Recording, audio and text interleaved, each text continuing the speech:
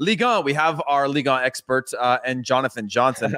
so why would we not uh, push some of the other leagues around the world further down to make sure that we get all of the juice squeezed out of this one? JJ, what's the uh, mood in Paris right now around uh, around uh, Pochettino?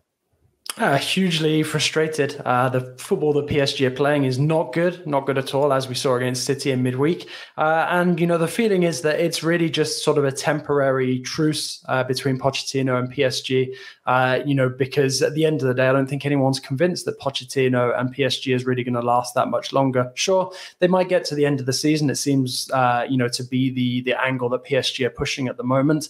Uh, but I, I, don't think PSG are going to win anything major uh, of note, and that's with all due respect to the Ligue 1 title, which at the beginning of every season we expect PSG to be dominating anyway. Uh, because you know, I just don't see uh, how Pochettino is suddenly going to magically. Uh, you know, develop some sort of identity, uh, you know, and stamp his mark on this team between now and the end of the season. You know, he he looks lost, for want of a better word, on the touchline and tactically as well. Well, don't you think he's probably starting uh, with uh, Rangnick, uh, starting to build a little tactical plan for his new club, spending more of his time uh, on the phone working through those things? I mean, I don't think that's far from from reality, to be honest. Where he's like, "Well, I could spend my time trying to fix this problem I can't fix, or maybe look to the future uh, and see what happens in the summer." Let's switch over to to to Lille with Jonathan David, a little Concacaf chat. Jimmy, I'll, I'll start with you. Obviously, this is a player who only uh, Erling Haaland has scored more goals in uh, for 2000s born players uh, in this season. Uh, obviously, highest scorer in the league, I believe, right now, and has more than half of his his team's goals. Jimmy, I mean, for a player like that, I mean, how big is that one for Concacaf? But two, to solidify himself uh, as one of the top strikers in the league. When we talk about you know the hundred to 100 plus million transfers, he's a player that's going to be pushing that limit. Uh, do you see him making a move uh, sooner than later? I do. I'm curious what JJ ultimately thinks. But what I also found is another stat that you didn't mention is that in the calendar year of 2021, Jonathan David has as many goals as Kylian Mbappe, which I think is pretty tremendous and, and something worth talking about for sure. I heard Inter Milan is interested in him. And I'm sure there's some other clubs that are interested as well. Why wouldn't they be? But he's been fantastic. And obviously, this is going through a transition from a manager that helped them win the league last year and Christophe Galtier to somebody different. And they really struggled. But despite that, he's still finding a way to score goals. And I really think that's a testament, not only to him, but to the, to the players that are supplying him uh, with the service uh, and, and, and opportunities but there is something about that. And and also with regard to Canada, really quick to go into the CONCACAF stuff. He didn't even start against Mexico, Jonathan David. They went with Cyle Larin instead, and Jonathan David came off the bench. I mean, that just speaks to Canada's depth, and that kind of scares me. And we can get into that when we do our previews yeah. of that. But with regard to Jonathan David in particular, I think he can do so many different things. I love his energy and his attitude. Even if things aren't going right, he's still trying to do the little details that I think is going to what separates him from everybody else. That he can, he's thinking about he's sniffing around, looking for those half chances that maybe he can turn into goals. And as long as he doesn't lose that, he's going to have a fantastic career. And obviously, he's off to a great start. Yeah, J- JJ, my, my question for you is like, how biased are we? John Herdman talks about that humility that Jimmy just talked about with Jonathan David. How biased are we from here in North America of just wanting this player to succeed or actually putting this player on a category of potentially a, a global star in terms of his ability to score goals? Because his track record of scoring goals is pretty incredible. And you talk about the fact that he lost some of his players from last season at Lille and he's continuing. It took him a few months to really settle into the club. I think three months before he scored his first goal, and now here he is, you know, considered one of one of one of the rising stars and still pretty young. Yeah, I mean, I, I, think you alluded to it there. Uh, you know, there was that expectation when he arrived, and I think it did crush him at first. You know, he was seen as like the the new hope uh, for for North American soccer coming to Lille.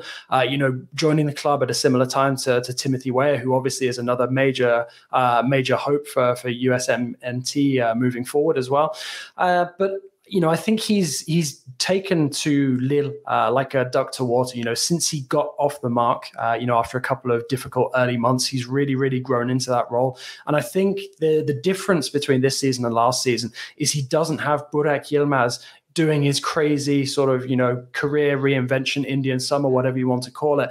Uh, you know where he's banging in goals from like 50 yards out at 35 years of age. That has gone now. You know, Lille can't rely on that anymore to to get these uh, to get these results that fired them to the title. So now David is performing consistently. Uh, you know, finding the back of the net with regularity, uh, and you know I, I I do feel that he is definitely one of the most uh, exciting attackers in European uh, soccer at the moment. I think it's a really positive thing for Lille uh, to be obviously to be a French club, but uh, but to have the ability to to not have minimum fee release clauses written into players' contracts because that way they can set the price for David. Uh, and I think that they will be really loath to separate with him in January at a cut price because I think that they will be able to extract a big, big fee for him next summer. Uh, and I think as well, uh, you know, if he has another consistent season or continues um, on his current trajectory, you know, he's probably going to hit around maybe 20 goals, which is a very, very good return in Ligue 1. You know, it's quite a defensive league. It's difficult to be prolific despite what many people would have you believe. Uh, and I think that, uh, you know, he is. Uh, he, he's definitely going to be one to watch uh, in the in the coming transfer window, and I, I, think that can only bode well for for Canada and for the for North American soccer in general. Having someone who is getting close to that level of being a, a real recognized star. JJ, I've got a question on on Konrad De La Fuente and, and Timo Weah. But first, what do you think? What do you think Jonathan David goes for in terms of a transfer fee? If you had to just throw a number out there, I'd say around seventy-five to eighty wow. million euros. Wow. wow. I mean, by by far a record. Uh, around, similar to the the fee that we saw Nicolas Pepe go to Arsenal for. Wow.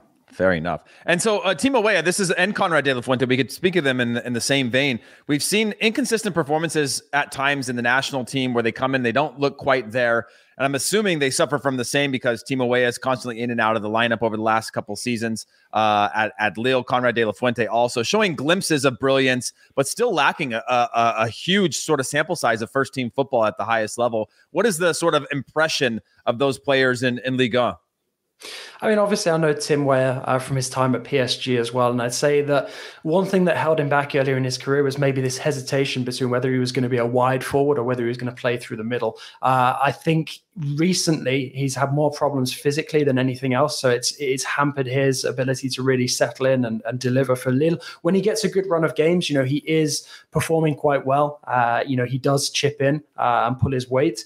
Uh, but also at the same time, uh, you know, the the team is kind of built around um, around Jonathan David at this moment in time with that dynamic. So it's only natural that he's there, you know, getting more of the opportunities and, finishing those off. But you know, if Weah takes the chances that come his way, particularly at the beginning of next year when you've got the domestic cup action coming in, uh, you know, I, I, think that he could definitely have a, a, role to play for Lille. And then we'll see what happens, uh, you know, heading into the summer where pretty much anybody at Lille is for sale. So we could see, you know, both Dave, uh, Jonathan David and Weah on the move at the same time time. Uh, on Konrad De La Fuente, uh, you know, he was very, very exciting when he came off the, the bench for his first, uh, you know, couple of tastes of Ligue 1 action with Marseille. Uh, I, I, feel like his confidence took a major beating when he missed that chance against PSG a couple of uh, weeks back in the Classique. Uh, you know, had a great opportunity, fluffed his lines, and, and since then has kind of drawn back into himself a little bit. Uh, it's a shame, and I'd like to see more of him uh, over the coming uh, over the coming months.